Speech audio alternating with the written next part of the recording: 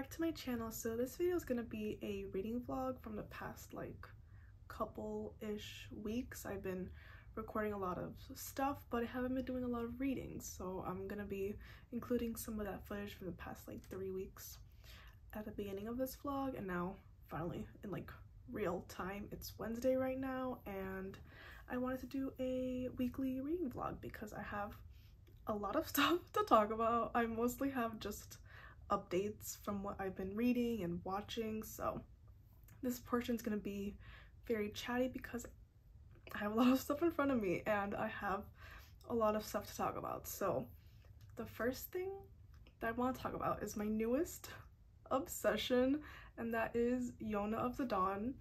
I read the first volume a couple weeks ago and I wasn't really sold on it. I was telling my friend that I don't like the whole incest plot line, but she was like, watch the anime, it, it gets better. And I was like, okay, I'm gonna try it, I'm gonna take your word for it, and oh my god, was she right? oh my god, was she right? Because that anime literally changed my life. I, my brain could not stop thinking about Yona of the Dawn. Every time I woke up, I watched at least one episode before going to work. When I went to sleep, I watched like three, four, five episodes. Like the only thing on my brain for the past like three weeks or two weeks, however long it's been, has been Yona of the Dawn. Like when I close my eyes, all I see is Yona of the Dawn because this show, this anime, this manga is so so good. This series has all the tropes I love like childhood friends to lovers, slow burn romance, found family, and a princess and bodyguard romance. Like, hello? What more can I ask for? As literally everything.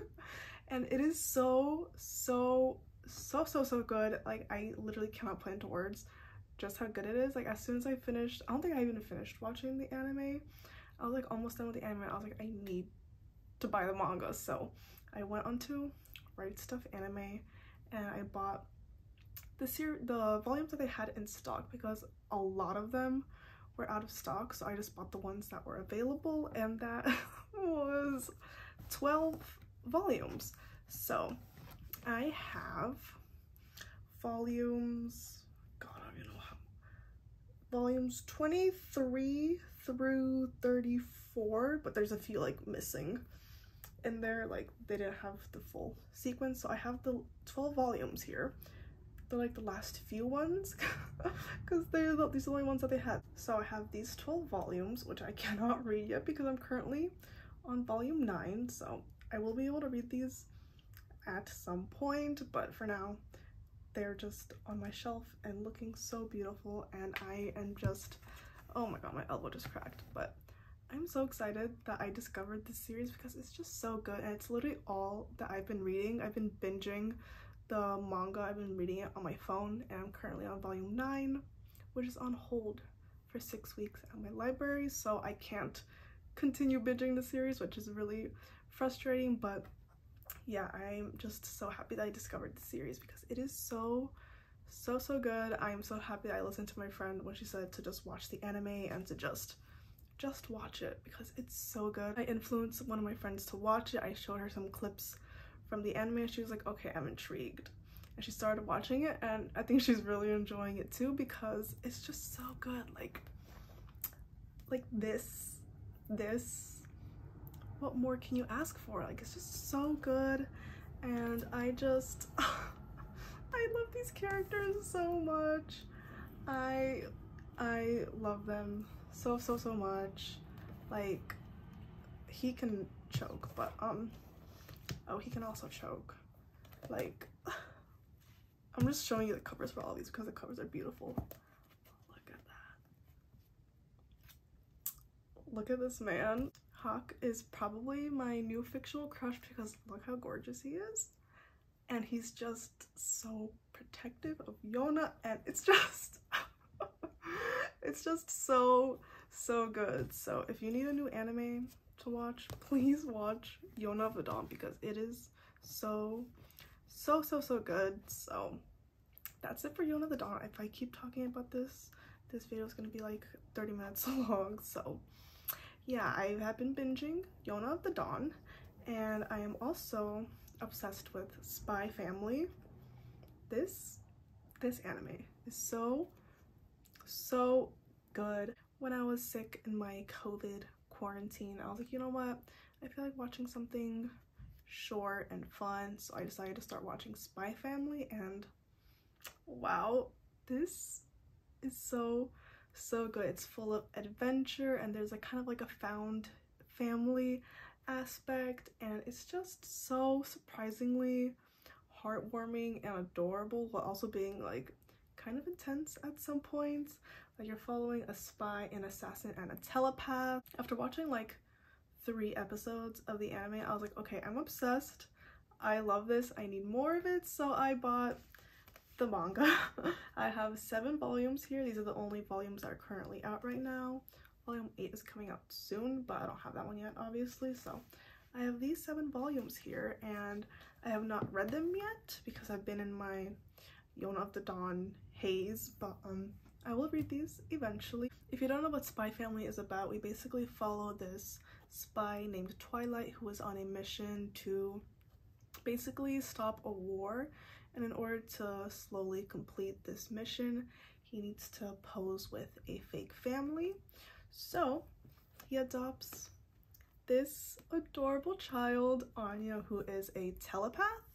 But he doesn't know that she's a telepath but she knows that he's a spy so since now that he has his little child he gets a wife Yor and she is an assassin and the telepath knows that there's a spy and an assassin, but they don't know that she knows. If you have not watched Spy Family, do yourself a favor and watch it because it is so, so good. So those are the animes that I have been watching and I have a few reading updates. I think like three weeks ago at this point I started reading Pride and Prejudice and I have made decent progress. Like I've read this much so I'm not halfway done yet but I read like 75 pages so this is what I have been reading for the past like three weeks I have not picked it up in a while because I think this is just one of those books that I need to take slowly because it is a classic and the language and like the English is very difficult to get used to like I've slowly gotten more and more used to it, but it's still a lot for my brain to focus on, so I will maybe eventually finish this at some point, but this isn't my top priority. And then the day before yesterday, I started Her Body and Other Parties, and I have read three of the short stories so far, and they've been fine. Like, none of them have really stood out to me. Like, I thought that The Husband Stitch, which is the first story, I was really gonna enjoy, but it was it was just fine. Like I would probably give each story that I've read so far like three stars. Like they were nothing that really stood out to me. So yeah, I've just been very slowly making my way through this. The next short story I have is like 60 pages and it looks like it's gonna be about Law and Order, which I don't care about Law and Order because I don't watch that show. So I don't want to read 60 pages about a show that I don't care about, but I'm just gonna take this short story collection slowly and just read like one or two stories a day because there's only eight of them and I've already read three, so I'm almost done with it, but this is again another one of those reads that I'm just gonna take very slowly. And the last book that I have started reading but have not picked up in a while is The Lost Hero, which is the first book in the Heroes of Olympus series. I am 135 pages into this one and I haven't picked it up in a few days because I'm just honestly not that excited about it. Like I am excited about the series as a whole, but this book is not really gripping me the way that The Lightning Thief in the Percy Jackson series did. Like I'm not as invested in this story and I am still at kind of like the beginning so I think I will get invested at some point but as of right now I'm not really like dying to pick it up again like it's just fine like I'd probably give it three stars once I do eventually finish it but yeah I don't want to say too much because I'm gonna be doing a Heroes of Olympus reading vlog so yeah I'm currently in the middle of The Lost Heroes so I have started a lot of books and have not finished any of them. But one book that I know I am going to hopefully finish is a reread of one of my favorite romances of all time, and that is People We Meet on Vacation. This book is just so good. Like, I am so happy that I decided to reread this because this book is making me feel all of the things that reading should make you feel like I'm just so giddy and excited to be back with these characters and to be reading this story. Like I just want to keep reading because I'm just I just love this story so so much. Alex and Poppy are just so beautiful and it's such a good friends to lovers romance and all of the angst and the banter and everything just building up is so so good. I'm currently on chapter 8 and I am just dying to get back to reading this one because I just love these characters so much and I'm having such a fun time rereading and highlighting and annotating like I've written down like so many little annotations in the margins and it just makes me so happy that I decided to reread this one because this is exactly what I needed to help me with this reading slump just rereading one of my all-time favorites so very excited to keep reading this one and yeah those are all of my reading updates it was a lot but um yeah currently in the middle of these four books and I will eventually continue reading Yona of the Dawn once my hold from the library comes in. I've also bought some books recently because I cannot be stopped. So I've been buying all this manga and I've also been buying books that I'm hoping to read for some videos that I want to work on. So the first book that I have is The Astonishing Color of After by Emily X.R. Pan. Don't really know what this one's about. and then we have The Stationery Shop by Marjan Kamali. This is a historical fiction and that's all I know. And I've been wanting to read this one for a while and I'm so happy that I finally have it and the deckled edges are just so cool and the cover with like the gold foiling is beautiful. The next book I got is Letters to a Young Poet by Rainer Maria Rilke. This book is so tiny. Like look how thin this book is. It is like 80 something pages I think. Like this is probably the smallest book that I'm ever gonna own. Like this is so thin it's kind of funny. And then i was at target one day as one is and they were having a buy three for the price of two sale. So like okay i'm not gonna miss up on this opportunity to buy three books for the price of two. So i got three books obviously. I got the secret history by donna tartt. My friend read this recently and she was raving about it and forcing me slash bullying me to read it so I decided to buy it and we're going to buddy read this one sometime this week and just read a couple of, couple of chapters a day. So yeah I'm very excited to buddy read this one. I don't really know what it's about but I know that some people love it and some people don't really like it. So I'm very interested to see where I stand with this one and it's so floppy which I really like but it does have the Bible thin pages which makes it a lot bigger than it actually is. So this one's kind of intimidating, but I'm excited to buddy read this one with my friend. And I also got Crying in H Mart. I already took off the Target sticker because it looked ugly. So yeah, I got this one. I have heard a lot of good things about it and I've just been putting off reading it for a while because I just feel like it's going to be a really emotionally devastating read. But I do want to get to this one soon because I keep getting the audiobook from my library and then my loan runs out and I have to renew it because I just have not been reading it but I currently have the audiobook. I have it for two more weeks I think so I want to try getting to this one soon. And then the last book that I got, I don't know why I got this one. I got The Shadow of Kyoshi. This is the second book in the Kyoshi novels series. I have the first book back there and I have not read it. But I decided to buy a second book. Why? Because the cover was stunning and it was on sale. So I was like you know what? I'm gonna buy it so that if I do eventually read the first book I can just immediately get to the second one. And yeah, I love Avatar The Last Airbender as you can tell. This is not planned. But um yeah, Avatar The Last Airbender is like one of my top favorite comfort shows of all time. So I'm really excited to eventually get into the Kyoshi books and learn more about Avatar Kyoshi. And then there is another one coming out about Avatar Yang Chen, which is also gonna be really interesting to read about. So yeah, those are all of the books and like manga that I have gotten recently because I have no self-control. But um yeah, those are all of the little updates that I have for now. It was really chatty, but I just had a lot of different things I really wanted to talk about. So yeah, that's it for now. So I just realized that I never showed you guys what my new bookshelves look like. So this is the new shelf that I got and I just feel like it looks so much more complete now. Like I feel like this wall just makes sense and that like my bookshelves as a whole just feel more complete. Like I don't know, I'm just so happy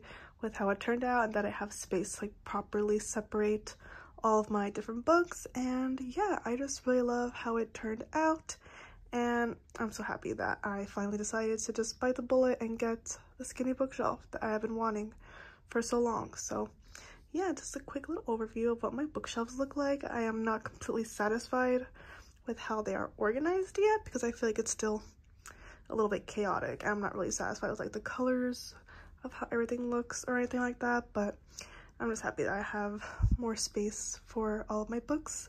So yeah, these are my new bookshelves and I will be doing a bookshelf tour eventually at some point once I have everything organized the way that I want it to be. But yeah, this is what I'm working with for now and I am so, so happy with my new shelves. So this is my TBR shelf. It is clearly not very organized because whenever I buy new books, I just put them in front here on this shelf. So yeah, I just want to organize this a little bit and cut down a little bit on some of the books that I have here because some of the ones that I have are not at the like very top of my TBR, like top priority or anything. So I just want this to kind of reflect the books that I'm like dying to get to and there's some here and there that I do want to read eventually at some point obviously but they're not like the top books that I really want to read. Yeah, first off, I'm gonna move this out of the way. Sorry, Suki, but you're in the way. So Pachinko, I got this book like a million years ago, it feels like, and I do want to read it eventually, but it's not at like the top of my list as far as books I want to read because I haven't really been in the mood for like, I think this is like a historical fiction type of book, so yeah, I'm gonna move this somewhere else. I'm gonna move these out of the way because they're just taking up a lot of space. I'm just gonna put these on the floor. Okay, so Yoke by Mary H.K. Choi. Beautiful cover. Love this little moment here and how the hands connect. Like, it's just, just beautiful. But I'm not really dying to get to this book. I am not really in the mood to like read a really really sad book so this is not oh sorry kyoshi so this is not my top priority either so I'm gonna move this somewhere else Emily Ratajkowski My Body this is I think it's like a collection of short stories slash like a non-fiction clearly I started reading it as you can see by my bookmark and my highlighting but I just wasn't really in like the non-fiction-y mood so yeah i just never finished reading it. I do obviously want to get to it at some point like i do with all these books but i'm just not really in like the kind of essay nonfiction e mood. The picture of dorian gray. This is a classic and i have not been in the mood to read a classic because i'm in a little bit of a reading slump as i have mentioned a million times but this book is really short, so I feel like I could get through it really fast, but I just haven't really been in the mood to like read a classic. And I know that I have this book on my shelf, so I feel like it doesn't need to be on my TBR shelf because I just kind of wanted to go back to my classics shelf where it belongs. So I'm just gonna relocate this one, but I do want to get to this eventually. But as of right now, I feel like a classic isn't really gonna help with my reading slump. Okay, The Cruel Prince by Miss Holly Black. this book, I have a difficult relationship with this book because I've tried reading this twice at this point and I just have not finished reading it. Like I haven't really made it very, very far. The two times I did read it, oh, I don't even have my bookmark in here anymore. But yeah, I have not really been in the fantasy mood and a lot of people in the comments of the vlog where I mentioned this book so you have to really be in like the specific mood to get into this book because the first book is kind of like boring slash slow so you have to really be in the mood to get into this story so you can just get through it to get to the second book.